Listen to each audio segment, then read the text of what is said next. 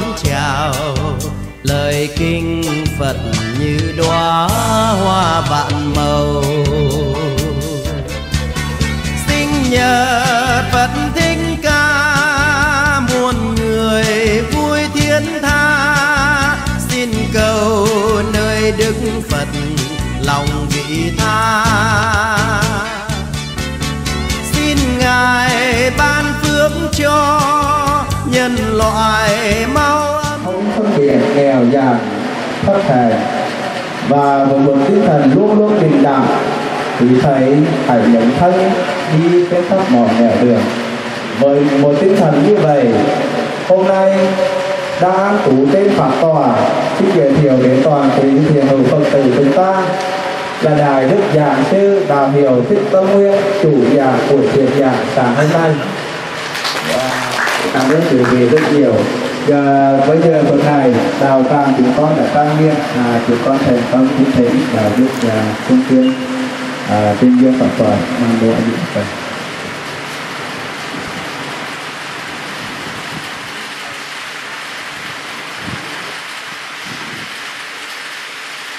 Nam mô bổn sư thích ca mâu ni phật. À, đã đặt trên uh,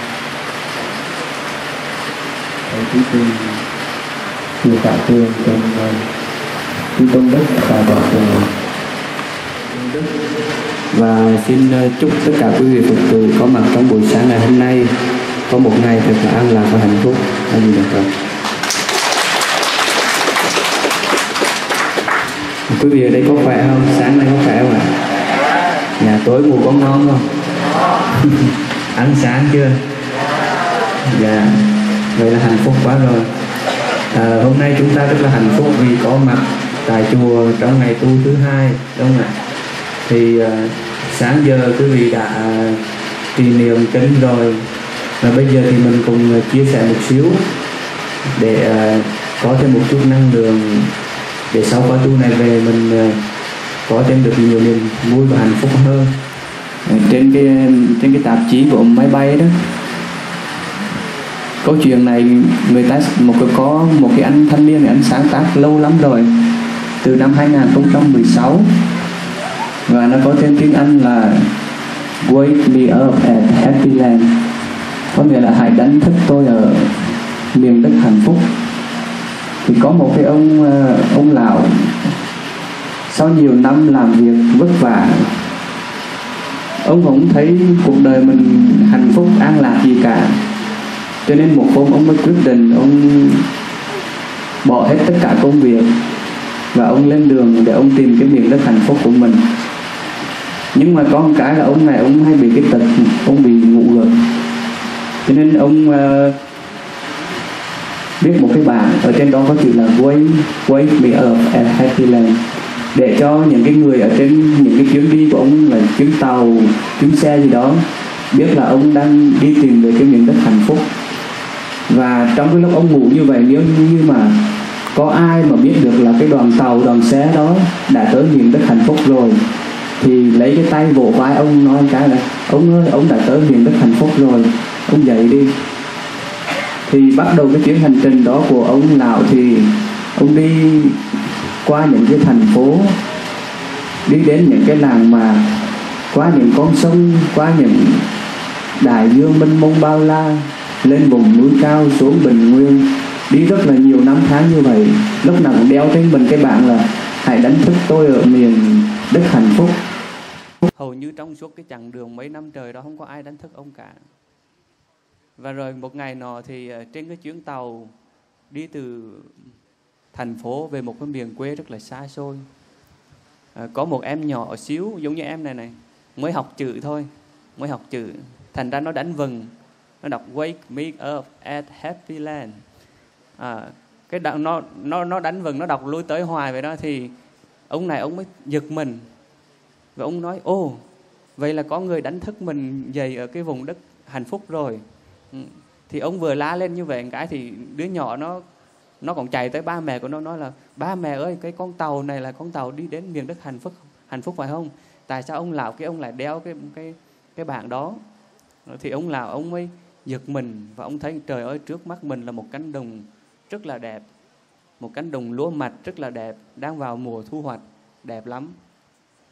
Và ông mới cảm nhận là ồ, hóa ra là ngay trong cái giờ phút đó, trước mắt mình đã là một cái vùng đất hạnh phúc. Và trong suốt cái hành trình phía phía trước mà ông đã đi đó, ông đã đi qua đó, thì đều là những vùng đất hạnh phúc cả. Nhưng mà tại vì ông ngủ gật, cho nên ông không ông không thấy được cái hạnh phúc nó có tại ngay lúc này và bây giờ đang ngồi ở dưới mà ngủ gật không? Dạ, chưa ha một xíu nữa ha. Ừ, một xíu nữa. Có nhiều người nói thầy ơi thầy thầy giảng hay quá. Mỗi buổi tối con khó ngủ là con bật thầy lên con nghe. Rồi con đi vào giấc ngủ ha một cách rất là nhẹ nhàng. À, thưa quý vị à, kể câu chuyện đó ra để thấy được rằng là mỗi chuyến đi trong cuộc đời mình là một chuyến đi mà nó đã tràn đầy hạnh phúc. Nếu mình không có tỉnh thức, nếu mình không có biết sống trong hiện tại, mà lúc nào mình cũng ngủ gật, thì có thể đến một lúc mà mình, mọi gối chuồng chân mình cũng không, mình cũng không thấy được hạnh phúc là đâu, đúng không ạ? Đường trần rong ruổi bấy lâu giang truân cơ cực, bạc đầu lời danh một hôm mọi gối dừng chân giật mình mình hỏi chính mình là ai? Sợ chính mình sợ chính mình không dám đối diện với mình. Người ta kể trong ngày xưa trong cái thời chiến tranh đó, người ta có rất là nhiều cái hình thức mà tra tấn tù nhân quý vị. Mà có một cái hình thức khủng khiếp nhất đó là cái gọi là tra tấn bằng cái căn phòng màu trắng. Quý vị có nghe được chưa? Tức là người ta bắt cái người tù nhân vào trong một cái căn phòng như vậy. Màu trắng không? Giống như vậy á. Mà cái này là chưa phải là màu trắng đâu. Màu trắng hết. Tất cả đồ dùng màu trắng quần áo mặc màu trắng thức ăn màu trắng tất cả màu trắng. Thì người ta bắt cái người tù đó vào trong cái phòng đó đó. Và sau hai tháng á, thả cái người tù này ra đó là bản thân cái người tù này cha mẹ họ họ cũng không nhận ra nữa và bản thân họ họ hỏi họ tên gì họ cũng không, không nhớ nữa. Quý vị biết tại sao không ạ? À? tại vì khi mà mình không còn một cái gì để tiếp xúc nữa cái căn mình mà không còn tiếp xúc với cái trần ở bên ngoài nữa đó thì lúc đó mình nhìn vào chính nhìn vào chính mình. Và khi mà nhìn vào chính mình thì mình mới thấy sợ hãi một cái nỗi sợ hãi kinh khủng. Nó nó nó hiện diện ở bên trong mình. Cho nên là bằng cái bằng cái việc làm đó, đó nó làm cho con người ta trở nên điên đảo sợ hãi vô cùng. Giống như có một lần đức phật đến vườn xoài. À, xin lỗi một lần á là vua a xà thế đến vườn xoài để thăm đức phật. Thì khi mà đức phật đến đó với cái vị đại thần tên là jivaka và trong một cái buổi đêm trăng sáng như vậy đến đầu bìa rừng á, thì một cái không, một cái không gian vô cùng tịnh mịch, yên lặng. Và vua Á Xà Thế mới hỏi vị đại thần Jivaka là, này Jivaka tại sao đến đây, ở cái khu rừng này, lông tóc của ta lại dần ngược lên hết? Một cái nỗi sợ hãi rất là kỳ lạ đang chạy ở trong thân ta. Này Jivaka có phải ông dẫn ta đến đây và ông tập kích ta hay không? Ông có cái mưu đồ gì đó trong cái việc dẫn dẫn ta đến cái khu rừng này không? À, thì Jivaka mới nói rằng là bạch đức thế tôn xưa giờ xưa nay con là một bề tôi trung thành với xin lỗi à, bạch thưa thưa đức vua xưa nay á tôi, tôi là một cái người bề tôi trung thành với với vua. Chưa bao giờ có một cái ý đồ gì cả. Thì vua, vua Á Xà Thế mới hỏi về thì tại sao? Cái lý do gì mà ta bước đến cái khu rừng này? Lông tóc của ta lại dần ngược lên hết ta lại cảm thấy sợ hãi như vậy thì Jivaka mới nói với vua Á Xà Thế là, thưa ngài, tại vì phía bên trong cái khu rừng xoài này có Đức Thế Tôn và 1.250 vị tỷ kheo đang tu tập thiền định ở trong đó. Tức là chính cái sự tịnh lặng ở trong cái khu rừng xoài nơi Đức Phật đang cùng quý thầy ngồi thiền đã làm cho vua A Xà Thế vô cùng sợ hãi. và chính mình cũng vậy khi mình cuộc sống bình thường mình lăng xăng á, mình không thấy mình là ai cả. Nhưng mà khi mình ngồi lại chính mình với một cái không gian tĩnh lặng thì lúc đó mình rất là sợ sợ mình. Rồi thì bằng việc sợ mình thì mình làm gì ạ?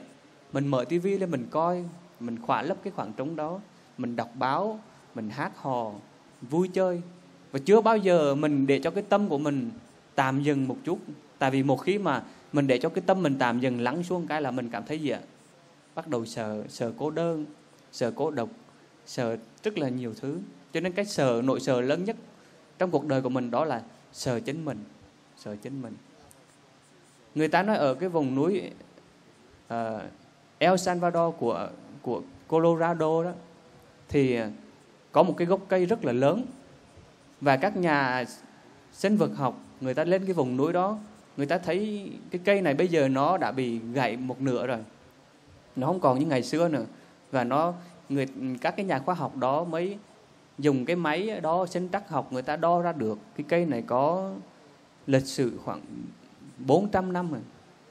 Mà những cái người dân bản địa ở cái vùng núi đó, người ta nói là cái cây này đã từng bị sét đánh ba lần lần nào cũng đánh một cách khủng khiếp nhưng mà nó không chết. Nó không chết. Nó bị gãy cành.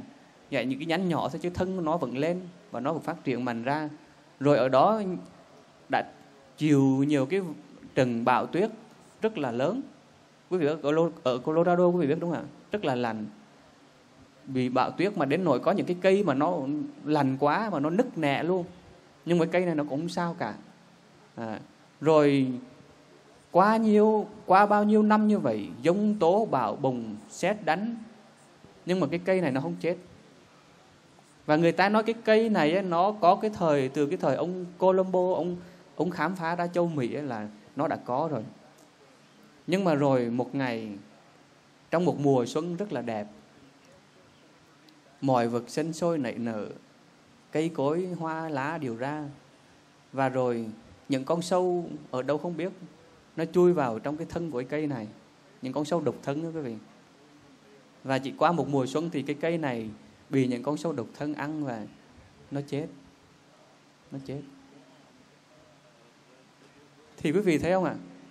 Trong cuộc đời này mình cũng ý như vậy. Có nhiều người không sợ trời không sợ đất không sợ ai cả. Nhưng mà nhiều lúc chỉ vì một những cái con sâu phiền não ở trong mình ấy, nó đục khoét chính cái thân tâm của mình. Và nó làm cho mình gục ngã. Chứ không có ai làm cho mình gục ngã cả. Có thể mình bước ra đường không ai có thể làm gì mình được hết. Mình không sợ ai hết trơn à. Nhưng mà đừng coi thường gì ạ. Đừng coi thường những con sâu những con sâu phiền não. Nó đang ẩn nấp trong thân của mình. Và nếu như mình không khéo mình mình để cho nó phát triển á, mỗi ngày mỗi lớn thì từ một con sâu trở thành một bầy sâu và cho dù ở cuộc đời này mình có mạnh mẽ trước phong ba bão tố như thế nào đi chăng nữa, nhưng mà đến một ngày nào đó, mình cũng sẽ đổ ngang như cái cây ở cái vùng núi Colorado vậy.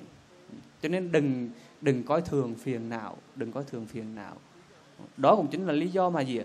Mà mình có mặt ở đây trong khóa tu này để mình ngồi lại ngồi lại để mình xem thử là cái con sâu nào nó đang đục khoét trong thân thể của mình, trong thân tâm của mình quý vị có biết làm thế nào để biết một người có sự tu tập tiến bộ không ạ? Làm thế nào ạ? Mọi người phải sắm cho mình một cái thước. Ừ. và hàng ngày lấy ra để đo, đúng không ạ? Mình phải có, mình muốn biết mình tu bao nhiêu thì mình phải có cái thước đo rồi phải có cái chuẩn mực. Mà cái thước đo đó là trên đó, cái thước đó nó ghi cái gì ạ? Ghi gì quý vị? Tham, sân và si. Mỗi ngày kéo cái thước mình ra xem thử là mình có bớt tham một xíu không? Đúng không ạ? Hôm nay mình kéo thước ra mình xem thử mình có bớt sân một xíu không? Hoặc là hôm nay mình kéo cái thước ra mình coi thử mình có bớt si một xíu không? Nếu như mà mình kéo cái thước đó ra đó mình thấy cái tham sân si nó dài ra đó thì có nghĩa là công phu của mình chưa có tới. Mình cần phải tu tập nhiều hơn. Ừ, cần phải tu tập nhiều hơn. Cho nên đến mỗi lúc đến chùa là mỗi lúc mà mình phải mạnh dạn kéo cái thước của mình ra kéo cái thước của mình ra để mình đo mình đo trong từng giây phút trong từng lời kinh tiếng kệ, trong từng bước chân của mình đi khi mình có mặt ở chùa này. Tại vì khi mà ở chùa thì mình dễ đo hơn phải không quý vị? Tại sao ạ? Mình lắng hết những cái ở bên ngoài rồi. Khi mình lắng tất cả những cái bên ngoài thì cái bên trong nó trỗi dậy những con sâu bắt đầu nó trỗi dậy. Khi bão tố đi qua khi không còn những cái cơn sấm sét nữa đó thì những con sâu ở trong mình đó, bắt đầu nó mới mới phát triển nó mới phát triển được. Khi đẹp trời á, thì lại lúc, là chính là cái lúc mà những con sâu nó nó dễ dàng phát triển nhất. Cho nên trong cái hoàn cảnh mình ở đây đó, mình thấy mình ngồi được yên bình như vậy, nhưng mà lúc nào trong mình cũng có gì ạ? Có những con sâu lúc nhúc nó đang bò ở trong đó. đang bò. Quý vị có thấy con sâu nào đang bò trong mình không? Ừ. có nhiều người thấy rồi, nhưng mà sao ạ? Không có không có mạnh dạn để mà mà bóc nó ra mà cứ để nó như vậy và nó sinh sôi nảy nở, thì đó là gì? Đó là mình đang nuôi một cái bầy sâu ở trong mình, tham sân si đầy dậy ở trong, rất là nguy hiểm. Cho nên là một người tu tập không có dễ đâu quý vị. Phải mạnh dạn lắm, phải mạnh dạn lắm, mình mới mình mới bóc con sâu ở đó trong người mình ra. Tài con sâu thì nó lúc nào cũng đáng sợ, đúng không ạ? Mình thấy thì mình đã sợ rồi. Mình chính nhiều lúc mình còn sợ cái tham sân si của mình cho nên mình không không dám bóc nó ra, không dám. Cuộc đời này mình nhiều lúc mình có thể mạnh mẽ được hới với tất cả những người khác trong lời ăn tiếng nói, trong hành động. Nhưng mà đối với chính mình mình vẫn luôn vẫn luôn sợ mình mình không không cương quyết. Ừ. có một cái anh chàng nào anh đi lên núi. Anh leo núi mà, muốn chinh phục những ngọn núi cao đó. Giống như ở vùng của mình đấy nữa không? Lúc nào có những ngọn núi. Anh đi từ lúc trời còn sáng cho đến khi lên lên đỉnh núi là trời tối không còn thấy một cái gì cả. Và cái ngọn núi đó nó rất là cao mà rất là ít người có thể leo lên được. Và khi đến đứng được trên đỉnh núi rồi á anh sung sướng là anh la lên trời ơi mình là cái người đã chinh phục được đỉnh núi rồi. Rất là sung sướng. Anh la anh nhảy. Mà khi khi mà quá sung sướng như vậy á, vừa la vừa nhảy như vậy thì thì không may cho anh anh bị trượt chân. Và anh anh ngã xuống. Và trong một cái màn đêm mà tối không thấy một cái gì cả thì anh rơi một cách tự do như vậy rơi tự do rơi xuống tự do. Và lúc đó anh nghĩ tới cái gì quý vị?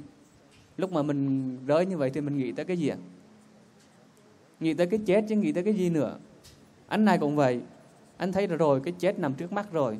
Thì đang rơi như vậy đang nghĩ về cái chết nghĩ về ờ, tất cả mọi thứ như vậy thì đùng cái anh anh là á à, chuyện gì xảy ra quý vị? Tự nhiên có một cái sợi dây nào đó nó vắt ngang cái cái cái không trung mà nơi anh rơi và nó, và anh mắc trên cái sợi dây đó. May không quý vị? May quá. Anh cũng thấy trời ơi, hết hồn. Xíu nữa là mình đã đi gặp diêm vương rồi. Nhưng mà không ngờ tự nhiên có một cái sợi dây nó mắc lại. Và, nhưng mà mắc lại trong cái đêm khuya như vậy á, anh cũng rất là đau khổ. Không biết là bây giờ sao đấy à, trong một cái đêm khuya lạnh lẽo như vậy thì anh nói thang anh nói trời đất ơi trời đất thiên địa quỷ thần ơi giờ làm sao mà con có thể sống sót qua cái qua cái tai họa này được? Thì từ đâu á từ đâu xa đó vòng lại một cái tiếng đó là dễ lắm muốn thoát được cái chết á anh chỉ cần mạnh dạn cắt cái giấy đó đi. Nếu theo quý vị thì quý vị cắt có cắt không ạ? À? có cắt không? Anh nói anh này nói trời ơi tôi thà chết chứ tôi cũng không, không cắt cái cái sợi dây này nghĩ sao vậy? Tôi rơi xuống đây mà tôi gặp được sợi dây là tôi đã mừng lắm rồi. Mà nghĩ sao kêu tôi cắt cái sợi dây đi? À, thì anh này mới nói là không dù cho chết tôi cũng không cắt cái sợi dây này. Quý vị thì sao ạ? Quý vị có dám cắt không? À, ai cũng vậy. Anh này tôi có chết tôi không có, có cắt sợi dây này đâu. Thì trong cái đêm tối trời như vậy lành lẽo như vậy anh vẫn vì cứu lấy cái mạng sống của mình anh bám chặt vào sợi dây bám chặt vào sợi dây không không thả ra. Và cho đến sáng hôm sau cũng có những người khác đi leo núi. Mà người ta thấy anh đã chết trên cái sợi dây đó. Tại vì sao quý vị? Lành quá chịu không nổi. Và người ta vẫn còn thấy anh cái tay của anh á nếu cái sợi dây cứng như vậy không thả ra. Nhưng mà trớ trêu một cái á, là từ cái sợi dây đó đến cái mặt đất ấy, cách nhau có có một khoảng cỡ mấy feet à. Có mấy feet à. Nhưng mà anh không có anh không có mạnh dạn à, có một xíu à mà anh không có dám. Anh không dám cắt sợi dây. Và anh bám vào sợi dây đó anh anh thà chết chứ anh không không dám cắt. Và cuộc đời của mình cũng vậy quý vị nhiều lúc mình đang lao đi giữa cuộc sống này, mình thấy được một cái mục đích, một cái kế hoạch, một ước mơ, một dự định nào đó của mình. Và có một người nào đó xung quanh mình thấy mình đang lao đi và đang rơi xuống, và mình nói, không, đây là cái sợi dây của tôi. Đây là cái sự bám víu và nó có thể cứu được cuộc đời tôi. Dù quý vị có nói gì đi nữa, dù tôi có chết đi nữa, tôi cũng không có buông tay ra khỏi sợi dây này có không quý vị? Và cứ như vậy, bao nhiêu cái lành lẹo cuộc đời này, bao nhiêu tâm tối cuộc đời này, nó vùi dập vùi dập đời mình. Nhưng mình không có dám buông bỏ đi cái sự chấp chặt, buông bỏ đi những cái gì mà mình đang lao đi. Trong khi đó, hạnh phúc rất ở gần mình, còn một xíu nữa thôi, một vài găng tay nữa thôi, thì mình đã tiến đến hạnh phúc rồi. Nhưng mà mình không có chịu, không có chịu lắng nghe không chịu lắng nghe và không gì, không đủ can đảm để mà trở về. Cho nên hôm nay, có biết bao nhiêu người ở vùng đất này, cũng có thể là những người phật tử, nhưng họ vẫn gì ạ? Họ vẫn khổ đau vì họ vẫn đang bám víu một sợi dây nào đó. Không dám cắt, chỉ trong một ngày chủ nhật này thôi, đúng không ạ? Không dám cắt cái sợi dây ràng buộc đó trở về chùa. Cho nên những người mà ngồi hôm nay ở đây là những người mạnh mẽ lắm. Là sao đánh vực với gì? Đánh vực với sinh tử của cuộc đời. Mạnh mẽ lắm mới có mặt trong ngày hôm nay. Cho nên xin chúc mừng quý vị quý vị đang đang đặt chân ở lên vùng đất gì ạ vùng đất hạnh phúc. À.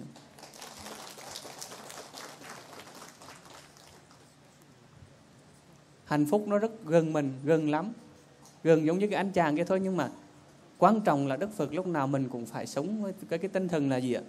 Bi trí rồi, phải có dụng nữa mình sống với lòng từ bi, mình sống với trí tuệ nhưng mà mình không có được cái dụng không có cái sự mạnh mẽ đó, thì mình không thể nào mà đi trong cuộc đời này một cách an nhiên tự tại.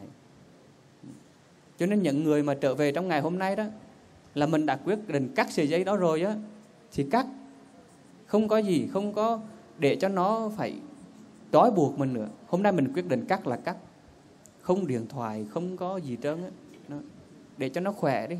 Mình có được cơ hội này là hiếm có lắm hiếm có. Và hôm nay mình đã bước được những cái bước chân như vậy rồi thì những cái bước chân tiếp theo chắc chắn của mình sẽ là những cái bước chân hạnh phúc. Ừ. hồi nãy giờ quý vị ngồi đây có được hạnh phúc xíu này không? Ừ. quý vị biết không là có có hai con cá đó. Một con cá anh và một con cá em. Con cá em nó, nó hỏi anh mình rằng là anh anh em nghe nói là biển là đẹp lắm biển đẹp lắm. Tại vì trong biển có nhiều điều kỳ diệu mà em chưa bao giờ được được đến đó cả. Thì cái con cá anh nó nghe cái con cá em nó nói như vậy nó nói là em mình đang ở trong biển mà em. Biển là đây này mình đang bơi trong biển mà. Ừ, mình đang bơi trong biển chứ biển ở đâu nữa. Và quý vị cũng vậy quý vị nghĩ rằng hạnh phúc là ở một nơi nào đó nữa, nhưng mà ngay tại ở đây, trong chùa Khải Tường, trong cái dạng đường này, hạnh phúc là đây rồi. Mình không muốn bơi đi một cái biển nào nữa. Mình muốn bơi đi đâu nữa? Cho nên trong cái giờ phút này, mình không có thấy được hạnh phúc an lạc, thì chắc chắn rằng là mãi muốn kiếp về sau, muốn thủa về sau, mình cũng chỉ là gì ạ? Mình cũng chỉ là cái người đi tìm một cái sự ảo ảnh giống như có một con chó nó vừa đi đâu đó nó cắp được cục xương nó chạy ngang cái cầu. Và khi mà nó chạy ngang cầu nó nhìn xuống dưới nước á, nó thấy trời ơi có một con chó to quá. Và con chó đó cắp một cục xương to hơn. Ừ. và nó rất là dần dữ nó rất là dần dữ. Và nó làm gì ạ? À? nó sủa. Nó sủa con chó ở dưới nước và khi nó sủa thì cục xương rớt mất tiêu. Mà đó là ai à à đó là chính nó chính nó. Nhưng mà gì ạ? À? cuộc sống của mình cũng vậy. Nhiều lúc mình đã có được hạnh phúc rồi có được, được tất cả mọi thứ nhưng mà mình vẫn luôn cảm thấy gì quý vị? Cảm thấy là mình thiếu mình thiếu. Và khi mình thấy một ai đó ở bên, cạnh mình á có một cái gì khác thì mình liền khởi lên cái tâm không tốt. Và chính ngay lúc đó mình cũng đánh mất hạnh phúc của mình. Ừ. có một cái con ờ, con quà đó. Quý vị biết con quà đúng không ạ? Con quà nó vừa đen mà nó lại còn kêu cái tiếng khó nghe nữa. Cho nên ai thấy con quà cũng ghét hết trơn á. Thì con quà nó nó khổ lắm. Cuộc đời nó khổ đau đi đâu, ai cũng xua đuổi. Và nó ở trong công viên thì người ta tới, người ta cũng không thích. Và người, nó thấy là có một cái con thiên nga đó, có một bồ lông trắng rất là đẹp. Ngày nào cũng bơi trên mặt hồ một cách thanh thản. Và nó bay tới con thiên nga, nó nói rằng là, này chị, tôi thấy ganh tì với chị quá à chị có một bồ lông đẹp, rồi chị có một cái dáng điệu, một cái dáng điệu rất là đẹp. Còn tôi đen thui lùi mở miệng ra ai cũng ghét. Tôi buồn quá, tôi ước gì tôi có một bồ lông trắng như chị. Con thiên nga mới nói rằng là, trời ơi, tại anh không biết thôi, thấy vậy cho tôi buồn lắm. Anh có nhìn đến cái cành cây phía xa xa kia không? Ở phía đó có một con vẹt nó có lúng nó màu xanh màu đỏ màu vàng. Đẹp quá chừng luôn. Túi quanh năm suốt tháng có bồ lông màu trắng này đâu có gì đâu đẹp nhìn chán chết đi được. Thì con vẹt nó nghe hai cái con con thiên nga và con quà nói về nó nói trời ơi tôi cũng khổ lắm. Ừ, tôi khổ lắm. Tại anh không thấy thì anh nhìn qua bên phía cái lồng bên kia đi. Bên kia có con gì quý vị? Con công. Trời ơi anh thấy con công cái bộ lông của nó cả ngàn màu sắc cái gì tôi hai ba màu có gì đâu. Có gì đâu mà hạnh phúc tôi ước gì tôi được như con công. Luôn có một cái bồ lông sặc sỡ nhiều màu đẹp như vậy. Mà con công nó nghe ba cái con này nói như vậy nó con con nghe con vẹt nói vậy trời ơi anh nghĩ sao vậy? Tôi ở trong đây á, hàng ngày ai đến cái công viên này người ta cũng nhìn vào tôi chằm chằm. Đó. rồi tôi phải múa phải hát phải xòe cái bộ lông của mình ra. Và tôi cũng không có làm gì được mà người ta cứ nhốt tôi hoài ở trong công viên này thôi. Tôi ước gì tôi giống như anh quà kia. Được bay thông dong từ tài. À, và không muốn ai đứng gần cả. Nếu mà tôi tôi có tiếng kêu giống như anh quà kêu lên tiếng mà người ta bỏ đi thì tôi khỏe lắm. Tôi sống cho nó một mình cho nó khỏe. Mình cũng vậy quý vị. Nếu mình sống mà mình không có biết hài lòng đó thì mình có bộ lông màu trắng thì mình nhìn cái người mà có hai, ba màu thì mình cảm thấy là mình thiếu thốn. Nhưng rồi mình không thấy được cái giá trị chân thực cuộc đời mình là gì. Và cứ như vậy, mình so sánh ờ, mình so sánh và mình cảm thấy mình thấp kém. Nhưng thực ra ai cũng gì ạ. Ai cũng có đầy đủ hạnh phúc ở đây và ngay lúc này. Mình không có cầu xin cái sự hạnh phúc. Do hôm qua mình kể câu chuyện là cái người ăn xin đó mà ờ, không có xin ai cả ngày xưa bên nước ý có một cái một cái người đó họ bị à, vào thế kỷ 18 19 như đó. Đến cái vùng Florence của nước Ý thì có một cái anh kia anh bị trầm cảm rất là nặng. Cho nên anh mới tìm đến người bác sĩ tâm thần á, để khám bệnh. Thì bác sĩ sau khi mà thăm khám xong thì nói với anh chàng Grimandi này anh này lên tên Grimandi này Rimandi, Rimandi. uh, ờ, sau khi khám cho anh xong thì tôi thấy rằng là với cái cái tình trạng của anh á, thì nếu mà để thêm một thời gian nữa thì chắc chắn anh sẽ bị bệnh thần kinh. Cho nên là anh phải chữa trị sớm đi. Nhưng mà với cái giai đoạn này của anh thì anh chưa cần phải dùng thuốc hay là chưa cần phải dùng một cái một cái gì mà y học ở trong này cả. Bây giờ anh nghe tôi nói một cái lời khuyên thôi. Đó là anh anh có biết ở trong cái vùng của mình sống ấy, ở đó có một ừ, ừ, cái rạp xiếc rất là nổi tiếng. Và trong cái rạp xiếc đó có một cái anh hề anh diễn rất là hay. Mà bản thân tôi là người bác sĩ nhiều lúc tôi làm việc mệt nhọc như vậy đó mà mỗi lần tôi đến tôi xem cái những cái anh hề đó anh diễn xong á là tôi cũng cảm thấy nhẹ lòng thoải mái thư thái. Thì bác sĩ mới hỏi này, vậy thì anh có biết là cái người, anh có biết cái rạp xiếc đó không? Và anh biết những chàng hề ở trong đó hay không? Thì cái người này, người thanh niên này mới nói, tôi biết chứ, nhà tôi ở rất là gần cái cái rạp xiếc đó. Và tôi cũng biết, tôi cũng biết cái người, những cái người hề ở trong đó. Bác sĩ mới nói vậy là, ông có biết cái người hề ở trong đó tên là Grimandi không? Nó biết chứ, biết. Tại vì tôi là người làm trong rạp xiếc đó, và chính tôi là Grimandi đây. Tức là sao ạ à?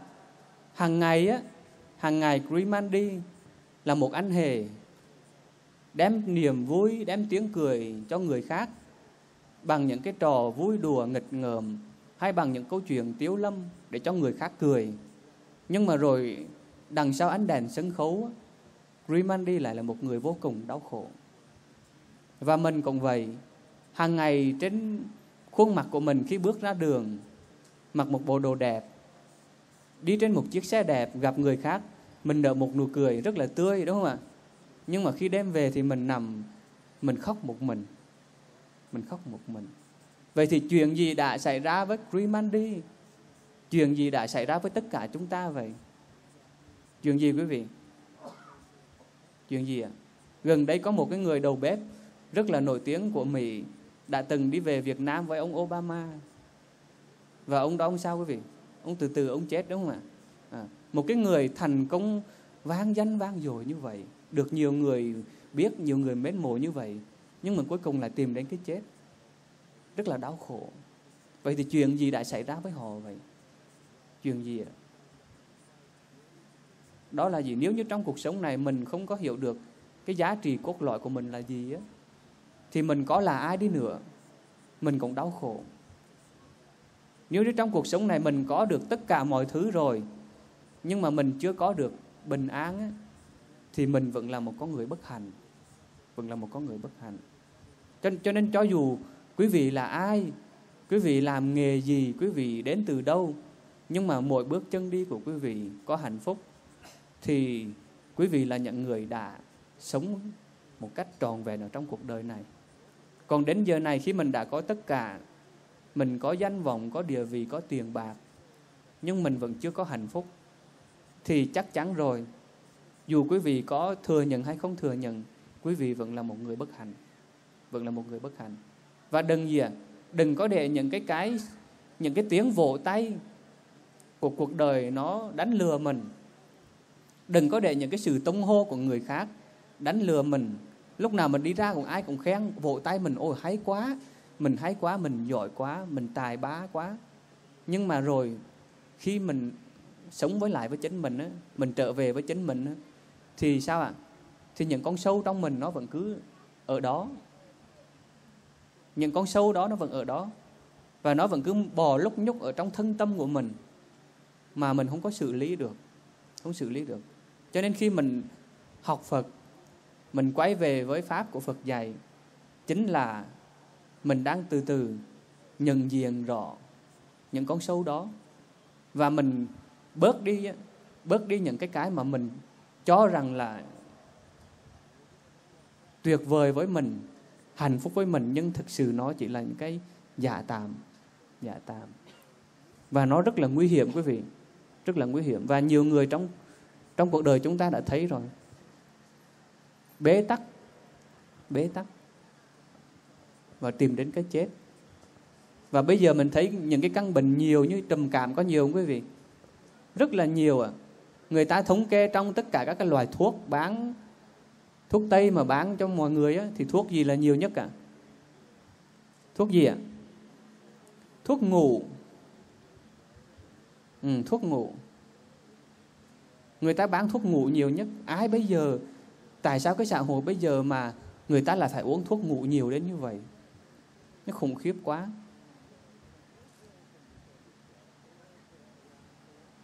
Cho nên nếu như mình không không có một cái con đường để quay về đó, thì đến một ngày nào đó quý vị cũng phải dùng tới thuốc ngủ thôi.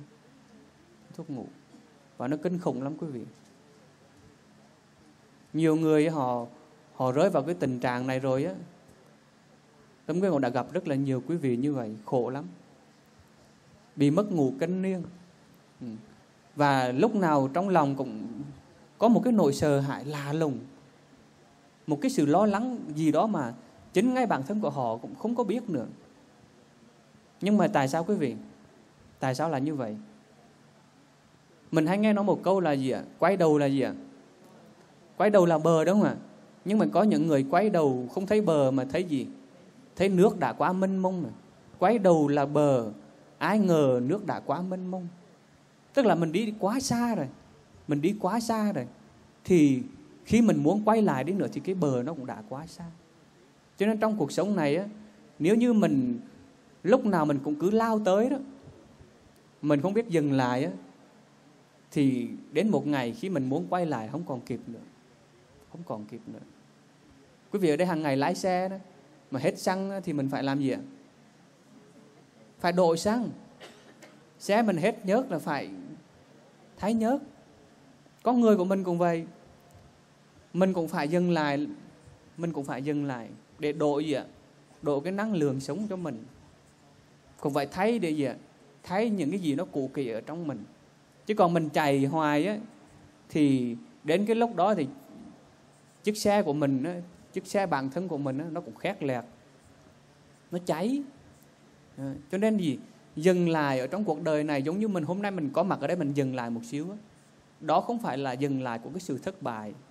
Đó không phải là sự dừng lại của cái sự trầm tiếng. Đó không phải là sự dừng lại của cái sự bi quan yếm thế như một số người họ nghĩ. Mà dừng lại để làm gì quý vị? Dừng lại để chuẩn bị cho mình mạnh mẽ hơn để mình bước tiếp.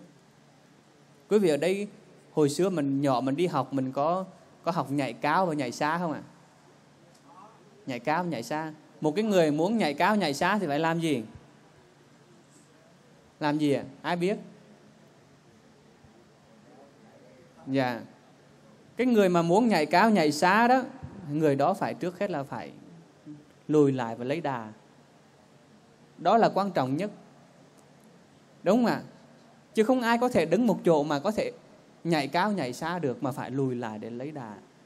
Cho nên trong cuộc sống này á mình muốn cuộc sống mình tiến tới tiến tới nữa. Thì đừng có bao giờ nghĩ rằng một bước lùi trong cuộc sống là cái sự thất bại. Và những cái những cái bước lùi ngày hôm nay này, ở đây đó, không phải là một cái bước lùi của sự bí quan yếm thế mà bước lùi để thấy là gì ạ? Lùi là để thấy mình rõ hơn, để thấy mình là ai, để thấy những con sâu nào nó đang có mặt ở trong mình và thấy được cái gì mới thực sự là quan trọng là cốt lõi trong cuộc đời? Còn không mình đứng đó một chỗ mình nhảy nó không tới đâu cả. Nhảy nó cũng cao mà còn không xa được. Giống như có một à, nhóm các em học sinh sau rất là nhiều năm học tập với thầy giáo của mình thì trở về để thăm thầy giáo. Thì hôm đó thầy giáo mới đem ra à, pha cà phê và mời tất cả những em học sinh uống. Và vì các em học sinh tới đông quá nhà thầy không có đủ ly rồi, thì thầy mới đem tất cả ly trong nhà có những cái ly gì bằng vàng bằng bạc bằng thủy tinh gì đem ra hết và rót cà phê mời. Thì khi mà thầy bưng cái bưng cái cái khay cà phê ra thì mấy em học sinh tranh nhau. Đứa thích ly vàng thì nó tới nó lấy cái ly vàng liền đứa thích ly bạc thì lấy mỗi người cứ thích một cái như vậy. Và xong khi mỗi mỗi em đã có một ly cà phê rồi á thì thầy giáo mới mới hỏi mấy em là cà phê hôm nay thầy pha có ngon không? Tất cả những em học sinh đều nói rằng là, hôm nay thầy pha cà phê ngon quá. Ừ, cũng giống như ngày ngày nào lúc mà tụi em còn học bên thầy, nó vẫn ngon như vậy, vẫn một cái mùi vị như vậy. Và thầy giáo nói, vậy thì nãy giờ mấy em thưởng thức cà phê nó ngon á, nhưng mà tại sao lúc nãy mấy em giành giật mấy cái ly làm gì? Đúng không ạ? Cái ly nó bằng bạc, cái ly nó bằng vàng cái ly nó bằng gì đi nữa? Nhưng mà cà phê mới là cái cái mà mình cần uống. Chứ không phải là cái ly. Đó. và cuộc đời của mình cũng vậy. Mình sống trong một cái ngôi nhà bằng vàng. Mình sống trong một ngôi nhà bằng bạc. Mình sống trong một cái ngôi nhà kim cương. Nó không phải là cái vấn đề cốt lõi mà quan trọng ở trong cái căn nhà đó mình có hạnh phúc và bình an hay không đó. thì đó mới là điều quan trọng đúng không ạ? À, chứ không phải là mình đang sống ở, ở trong cái ngôi nhà nào. Người Việt Nam mình thì hay nói một câu rất là vui đó là gì ạ? À, rau tôm nấu với ruột bầu đúng không ạ? Trùng tráng vờ hút gật gật đầu khen ngon. À, rau tôm nấu với ruột bầu thôi tức là những cái đồ mà rau tôm á, là con tôm mà người ta đã vứt cái đầu người ta không có xài mà ruột bầu mà ai mà mà ăn cái ruột đúng không nhưng mà gì ạ? Mình biết sống hài lòng với cái thực tại của mình đang có thì tự nhiên thấy hạnh phúc lạ lùng. Ừ. Cho nên mình phải thấy được đó là cái cái cốt lõi, cái cốt lõi. Mà trong gia đình nếu mình không chấp nhận điều đó đó, thì mình sẽ đau khổ lắm, đau khổ vô cùng. Và mình cứ luôn nào, lúc nào cũng giống như con truyền con quà, con cung mà con con vẹt vậy đó, nó khổ. Ừ. Chồng không chấp nhận vợ và vợ không chấp nhận chồng. Nhưng một khi mình biết chấp nhận thì lúc đó mình có hạnh phúc. Hay ông bà mình có hay nói câu đó là, lộ mũi 18 gánh lông đó ha chồng yêu, chồng bảo, tớ hồng trời cho. Nghe diện tả là thấy kinh khủng rồi, đúng không? Lộ mũi 18 gắn lông. Mình mà thấy người đó chắc mình sợ lắm. Nhưng mà để nói là gì nếu như mình có cái sự thương yêu, có cái sự chấp nhận, có cái sự bao dung với nhau á mình sống mình không có đau khổ nữa. Sống mà lúc nào cũng cảm thấy hạnh phúc. Giống như có đứa con nó hỏi nó hỏi mẹ, nó hỏi mẹ nó đó là, mẹ mẹ tại sao mà gia đình của mình á lúc nào cũng ba mẹ cũng cãi lộn nhau như vậy? Lúc ngày nào cũng tránh cãi những cái chuyện gì đâu không có mệt quá. Mẹ vậy tại sao mà ngày xưa mẹ có thể lấy ba được? Ba mẹ nói thì tại vì ngày xưa tao đuôi á. Ừ, tao đuôi tao mới lấy ba mày á. Thì nó hỏi ba nó đó ba ba chứ vậy tại sao ngày xưa bá lại lấy mẹ?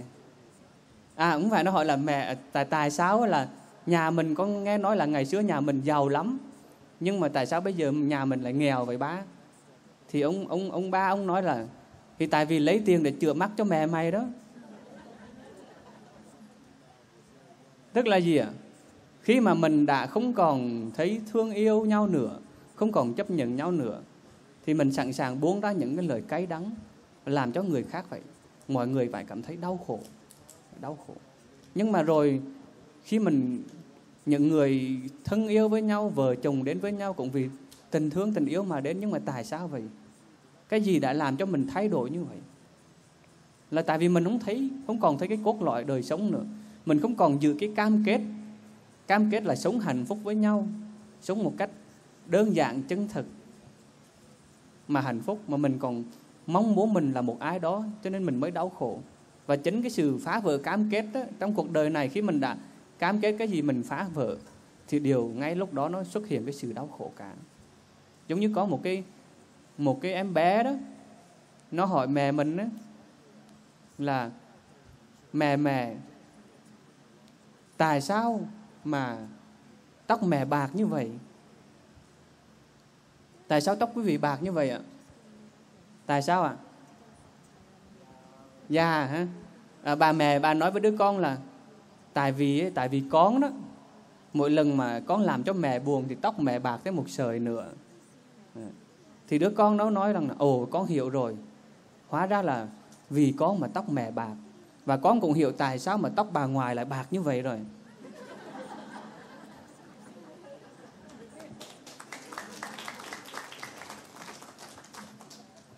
Cho nên là gì ạ? À? mỗi người trong mình á, là đều có một cái gì? Có một cái mình mình hay dùng cái từ gọi là hàm ba lăng đó. Mọi người ai cũng có những cái cái mà không tốt của mình cả. Nhưng mà nhiều lúc á, mình cứ nhân danh là mình là người lớn. Mình là một người chủ gia đình, một người chồng hay là một người vợ làm làm chủ gia đình. Mình có thể nói những cái điều rất là, nhưng mà chính mình cũng gì ạ? Chính mình cũng có những cái điều chưa tốt và mình không nhận ra được những cái con sâu đó những cái những cái con sâu mà đang bò lúc nhúc trong gia đình mình trong chính bản thân mình đó, thì mình cũng làm cho mình khổ. Và những người khác cũng cũng khổ theo cũng khổ theo. Cho nên đừng có nghĩ là gì ạ? Đừng có nghĩ mình mình sống hôm qua chúng chia sẻ với vị đó lúc nào mình cũng thấy mình những chúng sanh xung quanh mình cũng đều là phật cả. Thì tự nhiên lúc đó gia đình của mình hay cái nơi mình sống lúc nào cũng sống trong cái sự hài hòa và thương yêu hạnh phúc. Còn mình nghĩ mình lớn hoặc là mình ở một cái địa vị cao hơn người khác, thì lúc đó, ngay lúc đó, chính mình sẽ đau khổ. Chính mình sẽ đau khổ. Khi mà đứa con nó nói, nó biết tại sao tóc bà ngoại bạc rồi thì sao ạ? Ừ, thì mình cũng mình cũng xấu hổ lắm, đúng không ạ? Ừ, chắc là mình thì mình cũng đồn thổ ha. Đó. giống như là có đứa bé nó cũng hỏi cha nó đó? Nói ờ, cha, có phải là người làm cha đó? Thì lúc nào còn hơn con, không? Đúng không ạ? Con nó hỏi như vậy thì ông cha ông mới nói rằng đúng rồi con tất nhiên rồi. Cha là lúc nào cũng hơn con chứ đúng đúng rồi chứ sao nữa? À. nó mới hỏi vậy thì cha có thể cho con hỏi một câu hỏi được không? Nó hỏi là cha nhìn đi cái bóng đèn này là cha có biết ai phát minh ra bóng đèn không? Quý vị có biết ai phát minh ra bóng đèn không ạ? Ai ạ? À? Thomas Edison đúng không? À, thì ông cha ông cũng giống quý vị cũng rất là thông minh nhanh nhẹn và nói trở về Thomas Edison con. Ừ. Đứa con nó mới hỏi thêm một câu nữa về thì cha về tại sao cha của Thomas Edison lại không phát minh ra bóng đèn. Đúng không ạ? Đáng lẽ là cha phải hơn con thì cha của Thomas Edison phải là cái người phát minh ra bóng đèn chứ. Ừ. Cho nên mình mình thấy được đó, cái điều đó để mình thấy rằng là gì ạ? Mỗi người trong cuộc đời của mình ai cũng có cái khuyết điểm cả, cũng có những cái dở của mình cho nên khi mình biết chấp nhận cái vợ của mình và mình biết những cái người xung quanh của mình á mình coi những người xung quanh mình người thân của mình giống như những người bạn thân tình ngang hàng với nhau mình sống trong cái sự bình đẳng thì chắc chắn mình không sẽ thì mình sẽ không có gặp những cái cái cái sự trớ trêu trong những câu chuyện như vậy. Để rồi uh, mình không có không có phải hối hối tiếc vì những cái lời nói và hành động của mình đúng không ạ? Chứ không thì uh, sống với nhau mà lúc nào cũng cao với thấp rồi cắn răng chịu đựng nhau. Trong gia đình mà lúc nào cũng hầm hực với nhau thì buồn khổ lắm buồn khổ lắm. Quý vị có khi nào mà nghe câu chuyện cắn răng chịu đựng chưa? Có không ạ? Ừ. có hai mà có hai người này là mẹ chồng và nàng dâu. Không may hai người đều là bị mất chồng sớm cả. Mẹ chồng cũng còn chồng mà nàng dâu cũng mất chồng. Cho nên bà, mẹ chồng bà mới nói với đứa con dâu là, con à thôi, mình thật là bất hạnh. Mình không may mắn. Nhưng mà bây giờ á, mình đã mất đi chồng rồi thì mình cố gắng giữ cuộc đời của mình như vậy đến suốt cuộc đời. Mình sống như vậy cho trong sạch nha con. Ừ mình cố gắng cắn răng mà chịu đựng để sống cho nó qua ngày như vậy. Đừng có suy nghĩ đi thêm một bước nào nữa nhé con. Thì đứa con dâu nó nghe mẹ nó nói như vậy nó nói dạ con sẽ hứa mẹ là con sẽ cố gắng, không có đi thêm một bước nữa đâu. Dù cuộc đời này dù có ai đến đi nữa thì con cũng không có đi nữa đâu. Thì sau một thời gian sau á, thì đứa con dâu nó phát hiện là ba mẹ chồng đang chuẩn bị đi thêm một bước nữa và nó mới tới, nó nói với bà mẹ chồng là, mẹ, tại sao? Tại sao mẹ đã nói như vậy? Mẹ nói với là, hai mẹ con của mình là phải cắn răng chịu đựng. Mà tại sao bây giờ mẹ lại không làm không làm chuyện đó? Bà mẹ chồng bà mới nói rằng là, thì đúng rồi, mẹ nói đúng mà con, đâu có nói gì sai đâu. Mẹ nói là mình phải cắn răng chịu đựng. Nhưng mà con nhìn mẹ thì có con, mẹ còn cái răng nào để cắn không?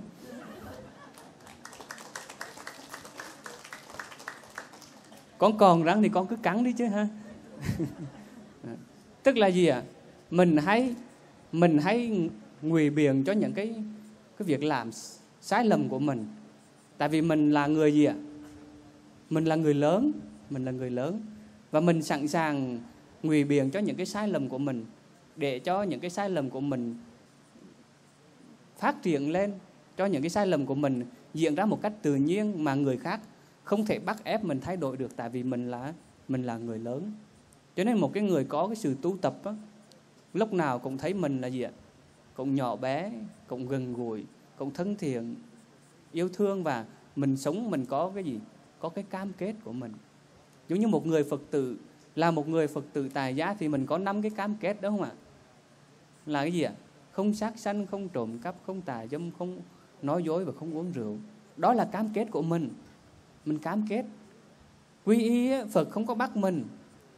Không có bắt mình, quý vị. Không có phật, không thầy nào bắt mình phải quy y, nhưng mà mình từ cam kết và phát nguyện với với chính mình mình dự. Thì khi mình dự được điều đó đó, thì mình có được nhân nghĩa lệ trí tín. Ờ, Nắm giới cũng giống như đồng nghĩa với lại nhân nghĩa lệ trí tín. Thì mình sống được với nhân nghĩa lệ trí tín thì mình đi, mình gặp ai người ta cũng tôn trọng cũng cung kính. Lời nói của mình có giá trị. Việc làm của mình được người khác ủng hộ. Còn nếu như mình đã phá vỡ cam kết vì mình nghĩ rằng là uh, mình là một cái người đi chùa lâu năm rồi mình không cần phải giữ cái cam kết đó nữa hoặc là mình lớn tuổi rồi mình không có cần phải làm cái đó nữa thì đó là mình đau khổ. Cho nên tại sao á là có nhiều người là phật tử lớn tuổi nhưng mà vào trong chùa thấy một chú tiểu cũng chấp tay cũng xá là sao ạ? Là tại vì mình trấn quý gì? Trấn quý những cái người giữ cái cam kết, giữ cái cam kết làm cho cuộc sống này bình an và hạnh phúc, và giữ cái cam kết trở thành một cái người có đời sống thanh tịnh cho người khác nương tựa. Và trong gia đình của mình cũng vậy, nếu như mình là một người chồng, người vợ mà mình giữ được cái cam kết đó đó, thì chồng mình, vợ mình tin tưởng mình ừ. và dù cho ngoài kia có phong ba, có bảo tố, cái gì đi nữa, thì gia đình cũng là cái gì ạ? Cũng là cái nơi nương tựa vững chắc. Mà những người trong gia đình còn không còn nghĩ là mình phải đến một cái nơi nào đó để nương tựa nương tựa nhau. Cho nên là một người phật tử đó, mình giữ được năm giới đó thôi đó gia đình của mình đã hạnh phúc. Xã hội cũng hạnh phúc và thế giới này cũng hạnh phúc. Ừ. Vì vậy mà mỗi lần lên chùa đây là mỗi lần gì quý vị? Mỗi lần mình tùng lại cái giới của mình. Mình xem lại là mình có đang chuẩn bị phá vỡ cái cam kết nào không? Nếu mà có thì mình phải làm sao ạ? À? phải chằng đứng lại liền. Việc thiền chưa làm thì phải làm. Việc thiền đã làm thì phải làm cho tốt hơn. Việc ác chưa có phát sanh thì không cho nó phát sanh. Và việc ác đã phát sanh thì phải chẳng đứng ngay lúc đó đó là mình tu bốn cái điều siêng năng gọi là tứ chánh cần trong đạo Phật. Mỗi lúc lên chùa, từ soi lại thấy mình và tu tập như vậy. Và không có gì ạ, không có chủ quan quý vị. Đừng có chủ quan, đừng có tin vào mình. Đức Phật trong kinh 42 chương có nói là, này các vị đệ tử, đừng có tự tin vào cái tâm của mình. Khi mà các vị chưa chứng chưa chứng thánh đừng có tự tin vào cái tâm của mình khi mình chưa chứng thánh. Nhiều lúc mình tự tin quá thì mình sẽ đi vào từ gì quý vị? Từ xác, từ tự. Người xưa nói là thiền du dạ nịch, thiền kỳ dạ đọa. Có nghĩa là cái người mà bới giỏi á, thì lại hay chết đuối. Mà cái người mà cưỡi ngựa giỏi thì lại hay bị bị té ngã và chết. Có nghĩa là sinh nghề tự nghiệp. Ừ. nhiều lúc mình nghĩ rằng là mình giỏi quá ở trong cái lĩnh vực đó, hoặc là mình đang đi một cách rất là mạnh mẽ như vậy. Nhưng mà thường thường á, mình đi quá nhanh, quá xa, và rồi không khéo là mình mình chết trong cái, trong những cái gì mà mình cảm thấy tự tin. Cho nên đừng đừng có đừng có cảm thấy ngại ngùng khi mà mình đi chầm một xíu chầm một xíu mà mà chắc. Quý vị đọc câu chuyện rùa và thỏ đúng không ạ? Đúng không ạ? Thì từ câu chuyện rùa và thỏ nó cho mình bài học gì quý vị? Ai biết? Đọc rồi nhưng mà bài học xấu sắc nhất là cái gì ạ? Nhá không được chủ quan đúng rồi. Nhưng mà còn một cái cái khác nữa. Xấu sắc hơn nữa trong câu chuyện rùa và thỏ. Ai biết? Nhá à phải có sự kiên nhẫn. Dạ. Cũng đúng. Nhưng mà cái điều quan trọng nhất trong câu chuyện đó, đó là mình là con gì không quan trọng cái con tới đích mới là con quan trọng. Đúng không ạ? Con rùa cũng quan trọng mà con thỏ cũng quan trọng. Nếu mà tổ chức cuộc đua thứ hai thì chắc chắn con thỏ nó sẽ về đích. Đúng không ạ? Cho nên mình là con gì không quan trọng mà cái con về đến đích mới là con con quan trọng. Và trong cuộc đời này cũng vậy mình là ai không quan trọng nhưng mình phải về được cái đích của cuộc đời của mình đó, thì mới quan trọng.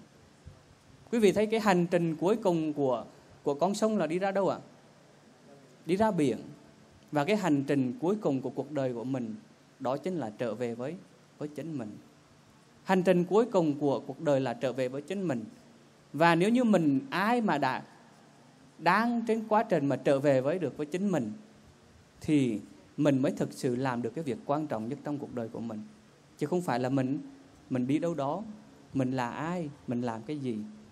Cho nên luôn nhớ là gì ạ? Nếu mà xung quanh đời sống của mình á mình thấy có một con thỏ nào đó đang chạy nhanh hơn mình xíu. Thì lúc đó đừng có sao ạ. Đừng có xôn, đừng có cảm thấy xốn sang ở trong lòng không? Đừng có cảm thấy mình tụt hậu hoặc đừng có cảm thấy mình thua kém. Mà mình phải cảm thấy là mình có đang đi về cái đích của mình hay không?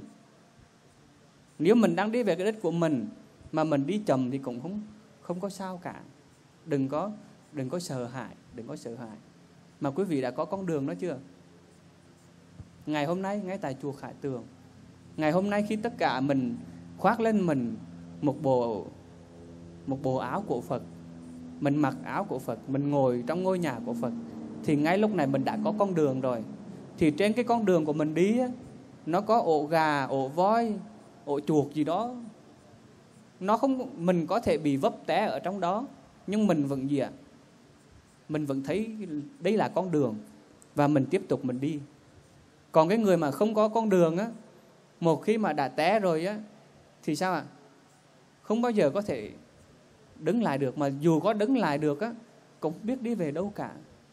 Cho nên một khi mình có con đường là mình không có không có sợ mình đi nhanh hay đi chậm, mà mình mình cứ đi rồi sẽ sẽ gì quý vị?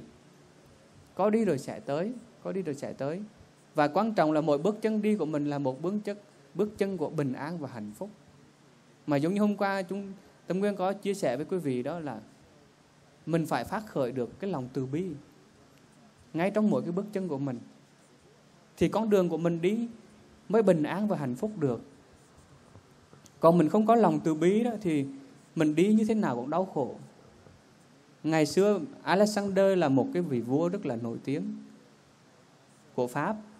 Người đánh đông dẹp bắc rất là nhiều nhiều trận đánh mà khi đến, nhắc đến Alexander, người ta đều phải sợ hãi. Một vị tướng tài, một cái vị vua, một hoàng đế nổi tiếng như vậy. Nhưng mà chính Alexander lại là cái người rất là ganh tị với một cái nhà hiền tiết, hiền triết, tên là G Giondis tức là Giondinis có nghĩa là tại sao lại ganh tị? Giondinis là một cái người mà không có một cái gì cả ông là một nhà hiền triết nhưng mà ông đi ăn xin. Giống như ờ, đức phật vậy đó, lúc nào ông cũng có một cái bình, một cái một cái bát đi ăn xin. Đi tới đâu đói thì ông ông xin ăn. Và có một lần nọ, nhà hiền triết này đi đến bờ sông. Sau khi xin ăn xong thì nằm ở gốc cây để ngủ. Thì thấy một con chó trong cái trời nắng như trời hôm nay này, nắng hơn nữa. Nó lao xuống dòng sông và nó nó tắm nó bơi rất là thỏa thích. Thì ông mới thấy trời ơi con chó này là cũng là một con chó hoang. Nó không có gì hết trơn à thậm chí một cái bình bát nó cũng không có nữa. Mà nó bơi thỏa thích như vậy. Còn mình á mình có cái mình có cái bát này để ăn xin thôi. Mà tối tới mình ngủ á mình ôm giữ nó trong lòng. À, tại vì sợ đứa nào nó ăn cắp thì ngày mai mình đi xin nó không có cái gì để đừng đồ ăn mà con chó kìa nó không có gì trơn à. Ờ, nó cũng đi lang thang như vậy đó mà nó xuống dòng sông nó tắm thỏa thích quá. Thì thấy hình ảnh đó, đó ông mới liền lấy cái bát mà nó quăng xuống dòng sông. Nó quăng luôn. Tại vì có cái này thôi mà nó làm cho mình khổ ngày đêm mình phải tháo thức với nó sợ mất sợ này kia. Ờ, thì khi ông quăng xuống ông nằm phơi mình ở trên dòng sông như vậy thì vua Alexander mới tới và thấy trời ơi, ta ước gì ta được như như ông vậy.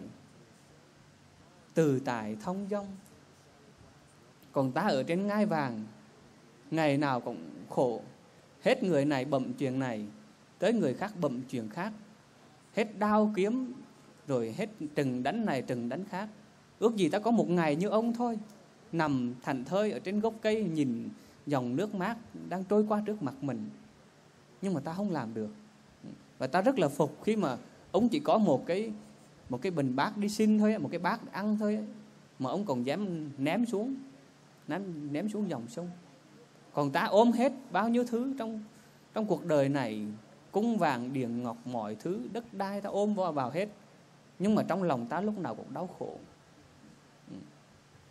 quý vị, ở đây mình có có người nào mà mà có nhiều thứ rồi mà mình vẫn khổ như vậy không ạ à? có không ạ à? Ngày mai về quăng xuống dòng sông hết được không?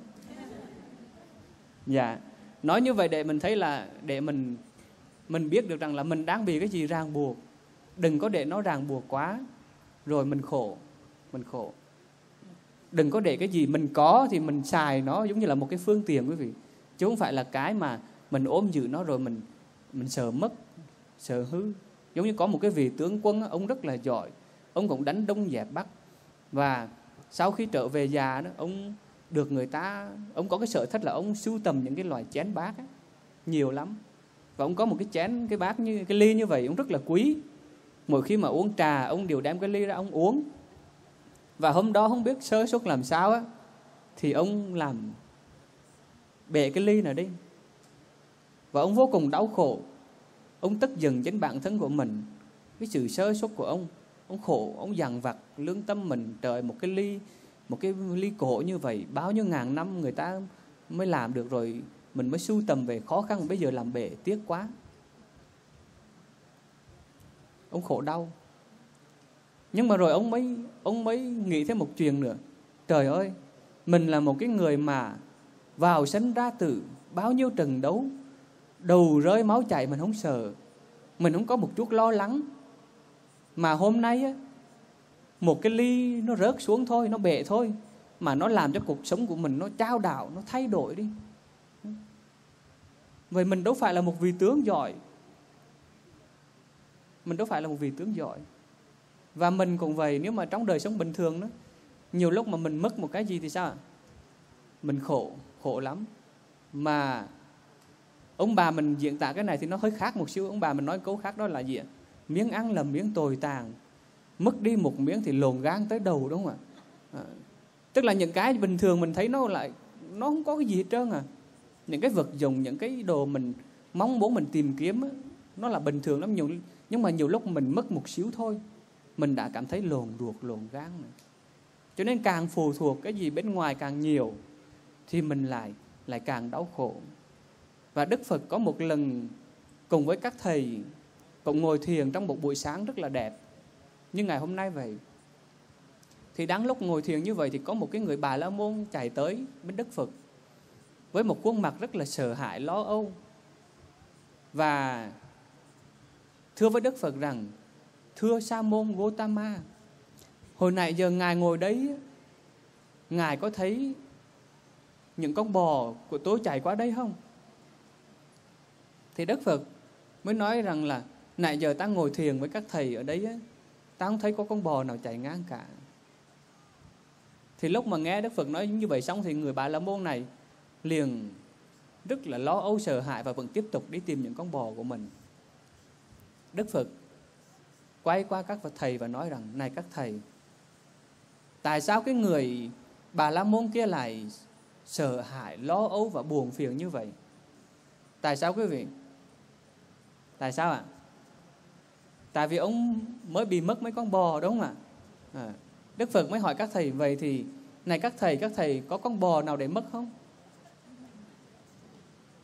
Các thầy mới nói rằng là nhà bạch thế tôn chúng con chẳng có con bò nào để mất.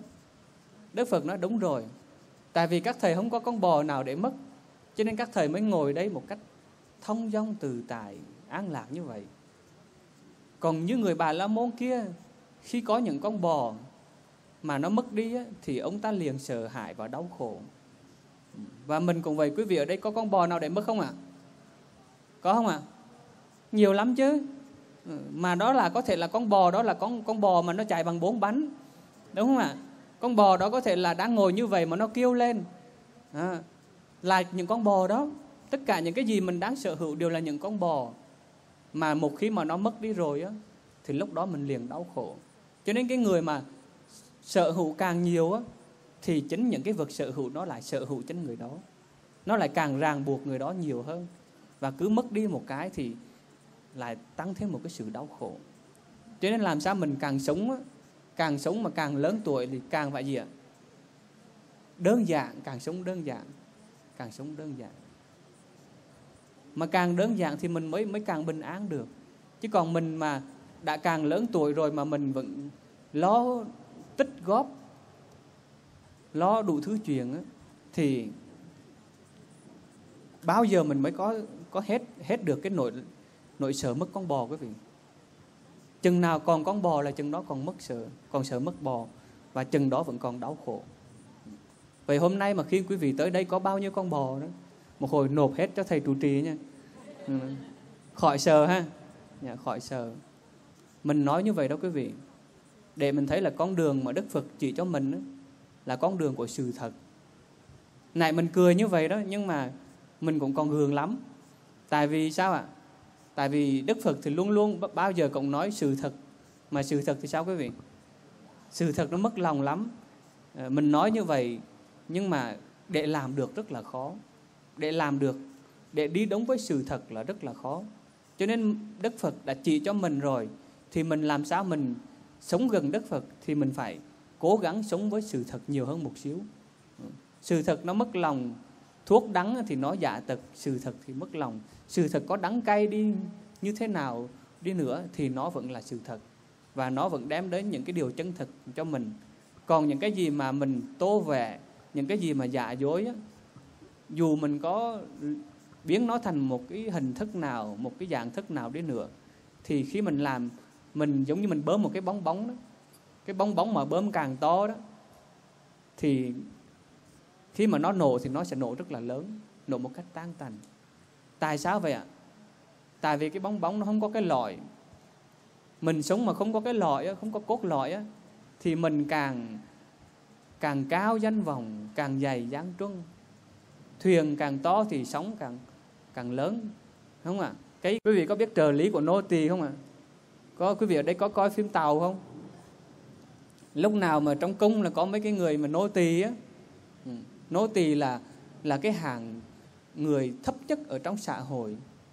Cái người mà làm, mà không có một cái một cái quyền tự do của cá nhân này, rồi không có được nhiều cái thứ khác mà ngày nào cũng lao động vất vả. Nhưng mà trong xã hội bây giờ có nhiều người là làm trợ lý của nô tỳ, tức là còn khổ hơn cả những người như vậy nữa. Tại sao ạ? Ngày thì cầm cân đong đếm đêm thì đốt đuốc tính toán, hình hài trớ lận thần. Tâm trí rối bàng hoàng, thức ngủ cũng chẳng an. Cái người mà họ có làm nô tỳ đi nữa, thì họ làm, tới giờ họ ăn thì họ ăn, tới giờ họ ngủ họ vẫn ngủ thẳng thẳng giấc, thẳng càng đúng không ạ? Còn cái người mà làm chủ, nghĩ rằng mình làm chủ, mình có cái này có cái kia đó, nhưng mà ngày thì phải cầm cân đong đếm. Đêm thì đốt đuốc tính toán, hình hài thì trơ lận thần. Tâm trí rối bàng hoàng, thức ngủ cũng chẳng an. Như vậy đời sống của mình á, mình nghĩ rằng mình sống sướng nhưng thực ra mình còn còn tệ hơn cả một cái cái người nô tỳ. Cho nên đừng cái gì đừng để mình rơi vào đó. Mà mình cứ ảo tưởng là mình đang rất là tốt đẹp, rất là hạnh phúc. Nhưng mà rồi mình thử nghĩ lại, mình sống được bao nhiêu cái giờ phút hạnh phúc trong đó. Bao nhiêu giờ phút mình hạnh phúc một ngày và bao nhiêu cái thời gian mà mình dành cho được cho gia đình của mình. Cho nên cuộc sống á, cơm áo gạo tiền đó là điều mà ai cũng phải trăn trở. Nhưng mà đừng có gì ạ đừng có để nó nó cuốn mình đi xa quá. Đừng có để nó cuốn đi đến đến nỗi một hồi mình không còn nhận ra mình là ai. Đến nỗi mình cuộc sống của mình còn thế thảm hơn cả một cái người nô tỳ nữa, thì lúc đó là thật là đáng tiếc quý vị, đáng buồn cho chính mình. Quý vị, hôm nay mình mình nghe như vậy, có quý vị nào mà ngày cầm cứng đong đếm không ạ? Có không? Có người nào như vậy ở đây không ạ? Nhiều lắm. Dạ, nhiều lắm. Nhưng mà may thay là chúng ta vẫn gì ạ? Vẫn còn chịu lùi một bước để mà ngồi trong chùa Khải Tường ngày hôm nay. Để mà thoát cái gì thoát cái kiếp trợ lý nô tỳ của mình trong một ngày. Để ngày mai, khi mà lao vào cuộc sống tiếp nữa mình nói, không, mình sẽ quyết tâm.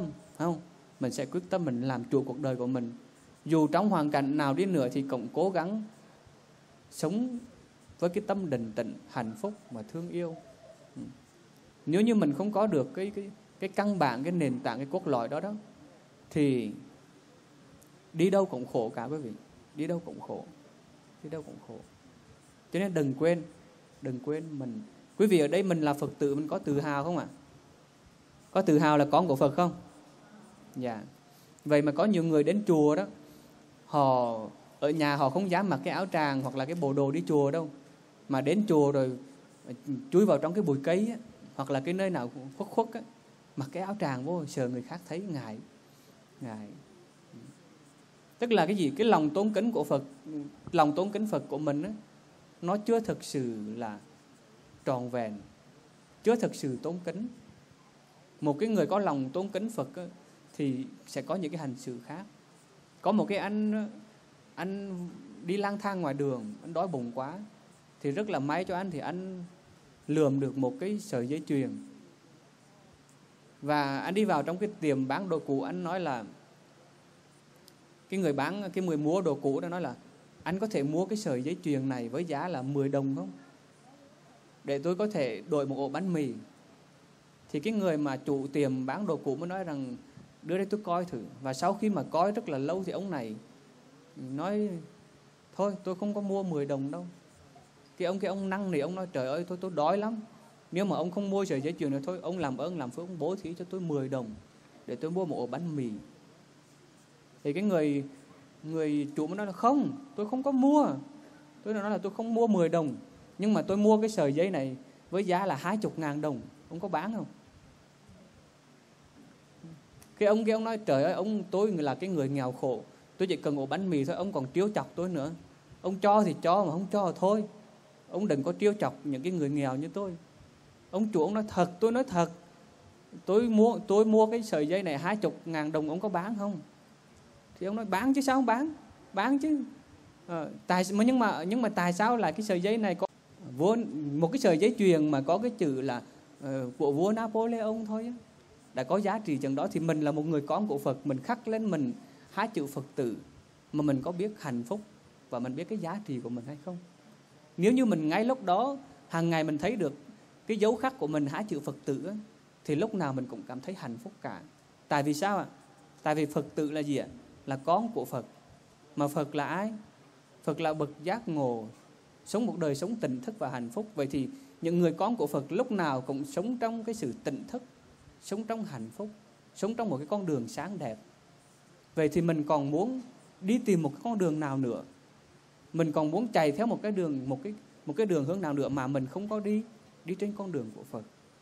Cho nên ngày hôm nay khi mình trở về chùa Khải Tường này trong cái nhân duyên có có mặt trong hai ngày tu này á, đó là cái ngày mà những ngày mà mình sống trở lại với chính con đường của mình. Mình sống được với hai cái chữ gì quý vị? Phật tử. Phật tử rất là quý rất là quý báu. Cho nên tam bảo quý báu ở, ở chỗ đó. Mình phải thấy mà gần hơn hết. Là chính mình bớt khổ đau những người thân trong gia đình mình những người bạn bè của mình thấy mình là một điểm tựa vững chắc. Một cái nơi mà khi quay về ở trong đó có cái sự an lạc và bình an. Thì đó cũng chính là những cái gì mà buổi sáng ngày hôm nay trong cái buổi nói chuyện này tâm sự này à, tâm nguyên muốn chia sẻ cùng với quý vị a di đà phật. Và cảm ơn tất cả quý vị đã uh, dành thời gian đến để lắng nghe và uh, chúc toàn thể quý vị luôn được an lạc và hạnh phúc a di đà phật.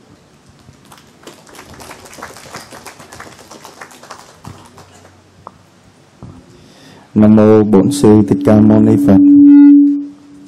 Buổi Phật thời đến đây là kết thúc. Xin đại chúng một lần nữa cho một tràng pháo tay thật lớn để cảm niệm công đức của đại đức giảng sư. Bài pháp vừa rồi của thầy là rất ý nghĩa, sâu xa và mầu nhiệm. Đại chúng tất cả niệm công đức của thầy và giờ này xin ban cung nghiêm chuẩn bị để cung thỉnh đại đức giảng sư hồi vi phương trì xin cung thỉnh đại đức cùng toàn thể đại chúng chúng ta khởi thân tam nghiêm đứng dậy. Hồi hướng.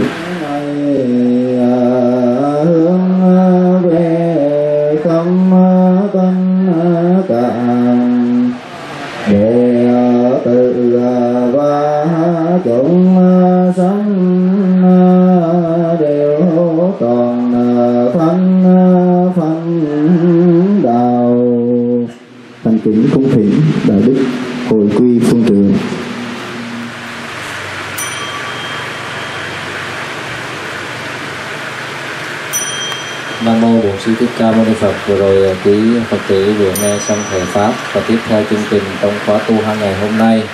Đó là buổi ờ, tác pháp cúng dường cây tăng, đền tri ân lên, tri tôn thiền đức. Đã quan lâm về đây, thuyết giảng.